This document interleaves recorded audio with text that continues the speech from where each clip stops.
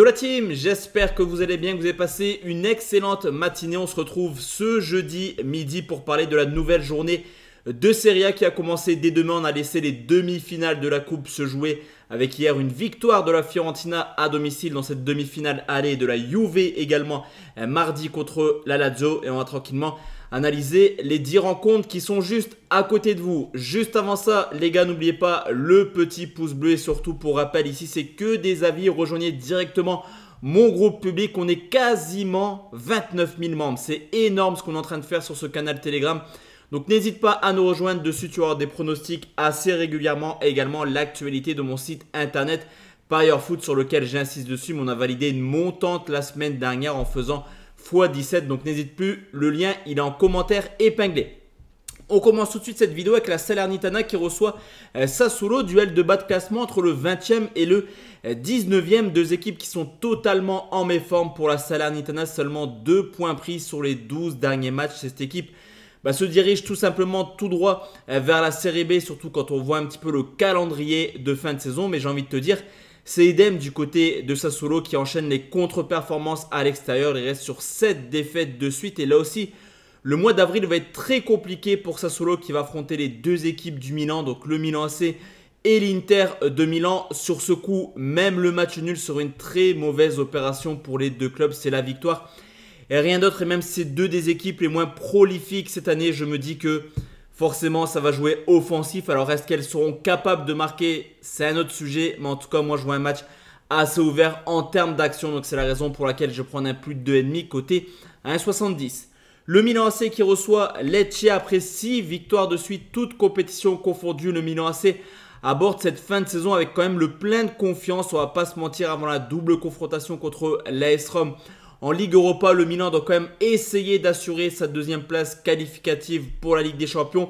De son côté, Lecce viendra sûrement fermer le jeu comme ils l'ont fait contre l'AS Rome pour un match nul cette semaine 0-0. C'est vrai qu'on verra, mais en, bas de classement, c'est quand même extrêmement serré entre le 13e et le 19e Sassuolo.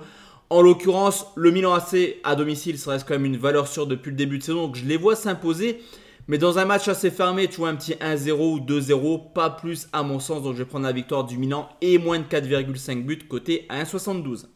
La Roma contre la Lazio de Rome, le derby électrique d'Italie qui sera également très important dans la course à l'Europe. Une équipe de la Roma qui tourne très bien depuis l'arrivée de De Rossi qui se met à espérer une qualification en Ligue des Champions pour la Lazio au mieux, j'ai envie de te dire, ce sera la Ligue Europa. C'est vrai que la Ligue des Champions est beaucoup trop euh, inatteignable, on va dire, pour les euh, Romains. Une équipe euh, de la Roma qui tourne plutôt pas mal, comme je te l'ai dit actuellement, même si la Lazio a changé de coach. La première victoire contre la Juve a été plutôt poussif et on le sait également dans ces matchs du derby de Rome, comme je te l'ai dit, c'est souvent très fermé. Donc je prends un nul au remboursé si Roma, l'AS Rome, c'est coté à 1,65. Empoli qui joue contre le Torino après une très belle période en euh, février. Empoli retombe tranquillement dans ses travers avec 4 matchs euh, sans victoire. Et pire que ça, c'est quand même 4 défaites de suite euh, pour Empoli. Gagner à domicile, pour eux, ça relève un petit peu de l'exploit. Seulement 2 victoires cette saison et une contre la Salernitana. Au contraire du Torino qui, mine de rien, peut encore espérer accrocher l'Europe et qui montre quand même quelques certitudes contre les équipes de, de bas de classement. Car contre les équipes hors du top 10, la donne est simple. Torino, c'est 17 matchs et il y a 0 défaite, dont 12 clean sheets. Donc tu l'auras compris. Cette équipe de Torino, elle est capable de ramener au moins un point du côté d'Empoli. Donc nul ou Torino et moins de 3,5, c'est coté à 1,61.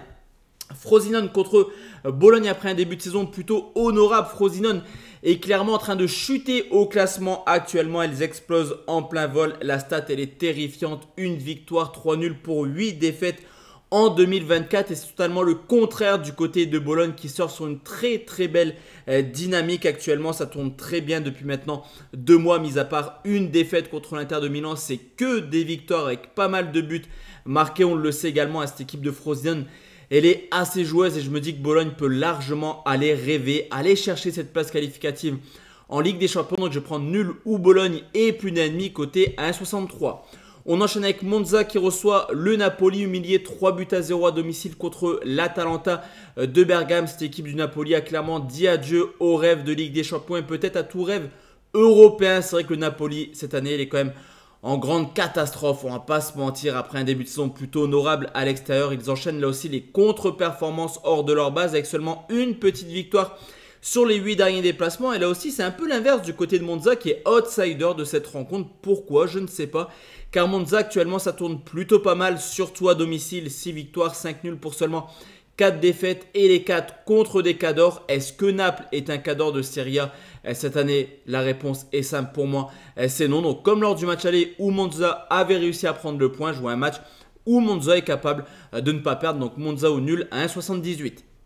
Cagliari contre l'Atalanta de Bergame. Comme je te l'ai dit, c'est l'équipe de Bergame qui est venue s'imposer 3 buts à 0 du côté du Napoli. C'est une victoire qui fait du bien après une série de 4 matchs euh, sans victoire. Victoire ultra importante dans la course à la Ligue des Champions. Et là aussi, il va falloir euh, prendre les points car actuellement, que ce soit Bologne ou l'AS Rome, ça tourne extrêmement bien. Pour Cagliari, là aussi, on va tranquillement commencer à parler euh, match Une équipe qui est pas ridicule à domicile. 5 hein. victoires, 5 nuls pour seulement 5 petites défaites. Une équipe qui marque également beaucoup à domicile contre les Cadors, mis à part contre l'Inter. Ça a toujours marqué contre le top 10. Donc attention, pourquoi pas voir un match nul? Cependant, on devrait voir du but, mais l'Atalanta Bergame reste forcément favori. Donc Atalanta ou nul et d'un ennemi à 1,49.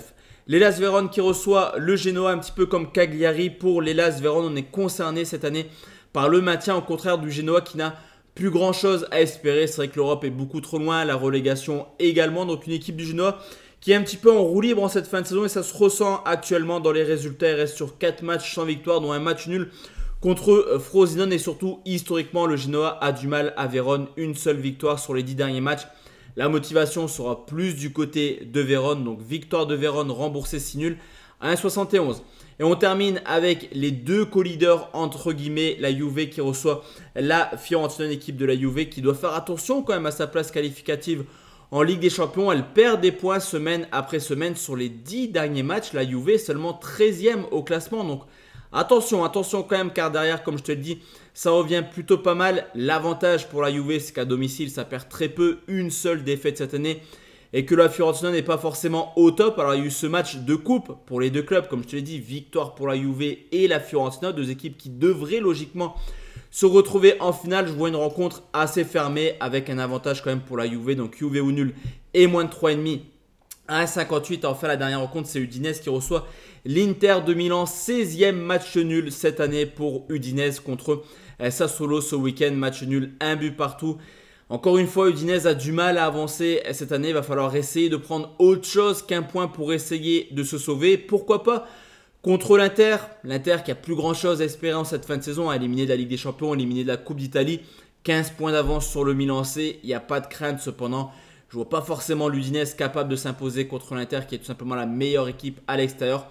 Le nul par contre il est envisageable, là, le petit 0-0 ou 1 comme d'habitude avec euh, Udinese. Donc on va sécuriser également tranquillement sur ce coup nul ou Inter et moins de 3,5 également c'est coté à 1,65.